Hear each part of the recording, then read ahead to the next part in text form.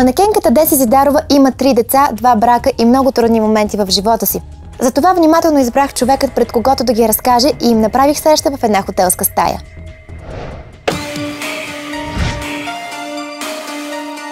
Ти премина през много трудни моменти и в това число е един акт на насилие, който предполагам остава неразкрити до днес. Откриха ли всъщност извършителя и поръчителя?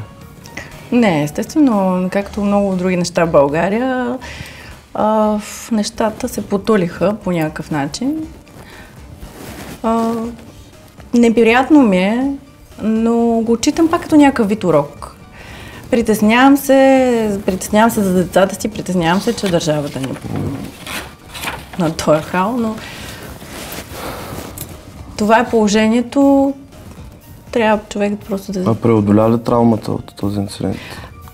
Аз не мога да се правя на безсмъртна и на някаква супер силна. Аз съм жена, аз съм ранима. Естествено, че по някакъв начин това е останало.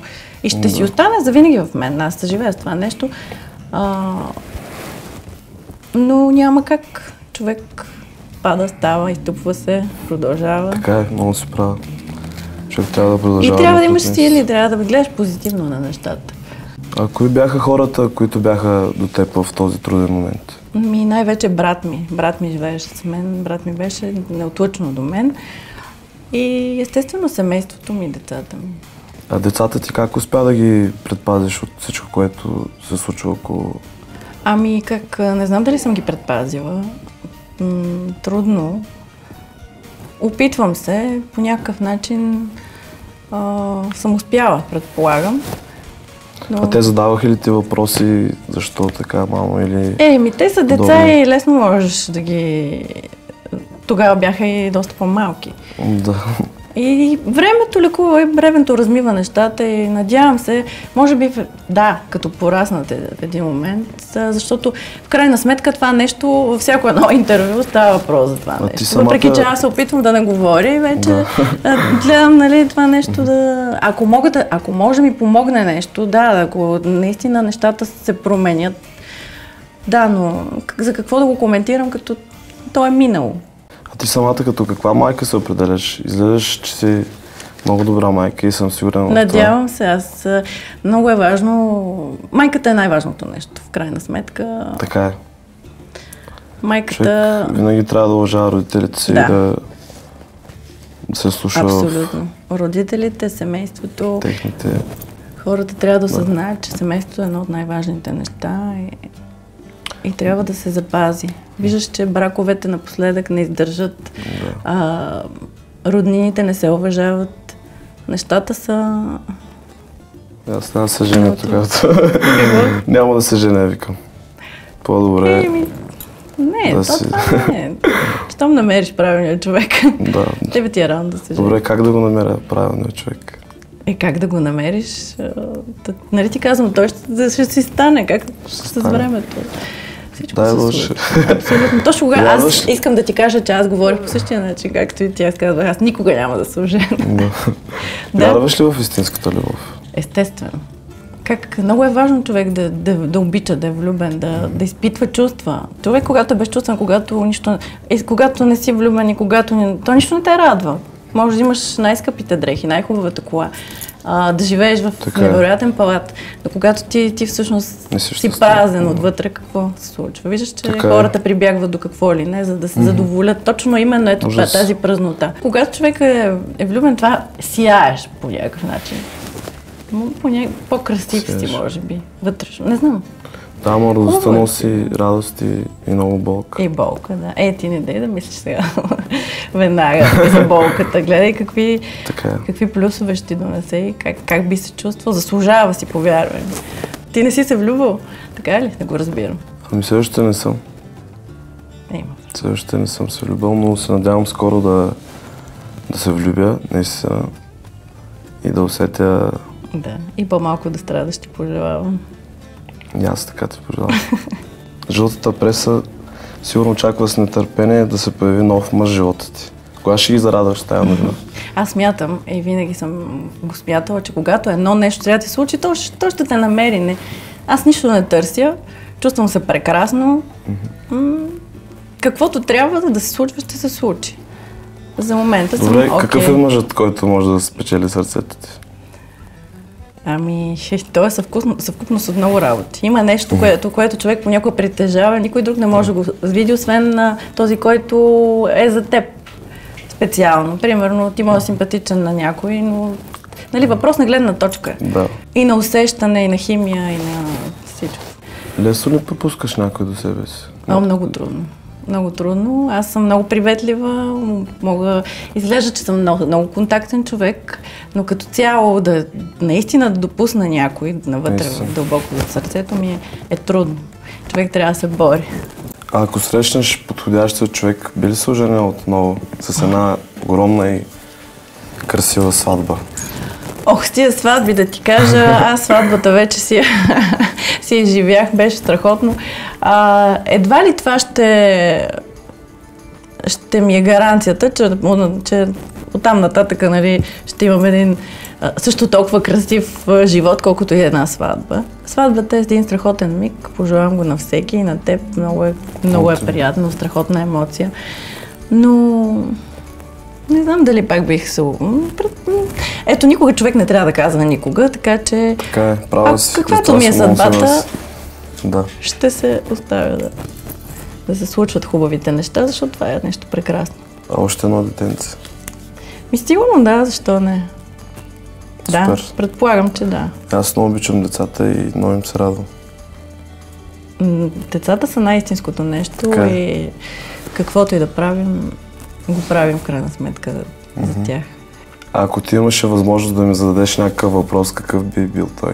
Баща ти по какъв начин те подготви за голямата сцена и за това какво ти предстои? Това е нещо невероятно. Ти всъщност още си доста млад. Интересно ми е. Така е. Ами, моето семейство всички са музиканти. Е, Цялата ми фамилия, и баба ми, и дядо ми, дори и пра дядо ми. Така е. И, абсолютно всички, които съществуват в семейство, семейство, дори които не съществуват, са били музиканти. Виждаш ли какво нещо е И ген? няма как да, да избегна от а, това да съм толкова музикален и защото баща ми наистина е изключителен певец и ме е научил, както всеки родител, само на добри неща. За доста кратко време да наистина добих популярност, което много ме радва. И хората Разбира се, че има и много злобни коментари, защото нашия народ просто така е свикнал. Но за напред се виждам на още по-голяма сцена, с много повече фенове И аз си го пожелавам. и стойностни пести.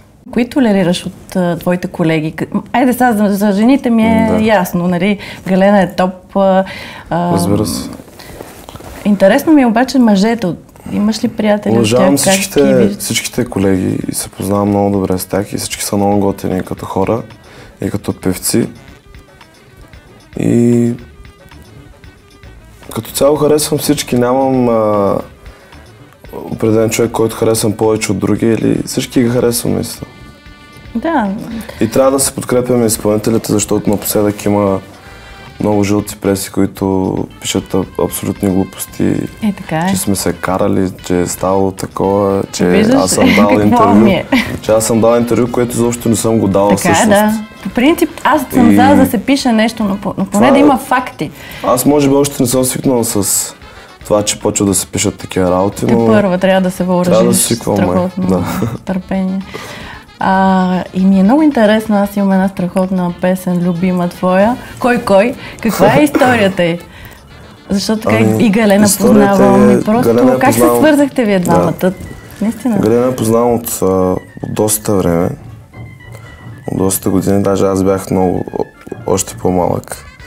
И съм тичал зад нея в центъра на Шумен, в центъра на град Шумен. На последното невиждане, преди да направим дуета, се видяхме на морето и тя, тя вика, ей, Фики, какво правиш тук? Аз изобщо не я видях. Викам, здравей, Галя, как си? Тя вика, добре, изглеждаш много добре. И аз викам, ти изглеждаш много добре. И оттам се разменихме така хубави реплики. И след това след около 2-3 месеца се видяхме на едно съвместно участие, където пяхме на живо. Тя ме чуе мен аз как пее. И дойде при мен и каза, мале пееш, не съм много яко. Искаш ли да направим дует? И аз разбира се... Значи тя е била инициатора. Да. Това ми беше интересно наистина, но искам да ви кажа, че е страхотно Много се радвам, че двамата. се получи такъв проект Да. и че хората толкова много, много я харесаха. поздравления за това и искам да те попитам, коя е следващата, с която ще направиш някакъв успешен дует. Ами следващата може да си ти. Ако се съгласиш. Първо трябва да изпробваме певческите ми възможности. Със сигурност може, защото така като те чувам, имаш много хубав тембър на гласа Ти ще и кажеш. със, и със сигурност би звучал добре. Благодаря, успех ти пожелавам. И аз ти благодаря. Дори да не пее, може да участвам в някой клип. Евентуално компромисно решение. Благодаря много, ще се радвам. А, Аз искам лично да те поканя на абитуренския ми бал. Ще се радвам много да присъствам. Супер, благодаря. Да огрееш а, а, този красив момент за мене. Ще се постарая да бъда красива и аз от твоя бал. Със сигурност ще си красива. И ще се радвам да, да те видя отново. Благодаря ти много за това интервю. И аз ти благодаря. Ще се видим на твоя бал. Ще се видим. си прелест. Да. След рекламите в поверително. Една изпушена цигара ще постави две звезди в повече от скандална светлина.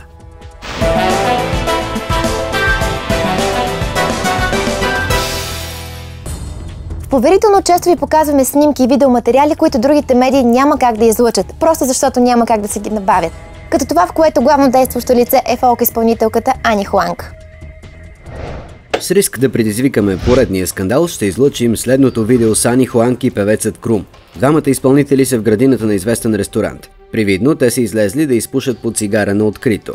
Но това, което не може да усетите, е типичната миризма, която се разнася от цигарата на двете звезди. Миризмата очудващо напомня тази на марихуаната – наркотично вещество, чиято употреба е категорично забранена с закон. Ние от поверително не твърдим, че двамата употребяват забранени от закона вещества, а само отбелязваме факта, че цигарата, която пушат Крум и Ани Хуанг, не мирише по начина, по който миришат тютюневите изделия. Двамата пушат без да се притесняват от подминаващите ги хора, а Ани Хуанг дори запалва втора цигара като прикритие. Ние спираме до тук, а вие сами си правете изводите. Или може би преди вас трябва да ги направят Крум и Ани Хуанг.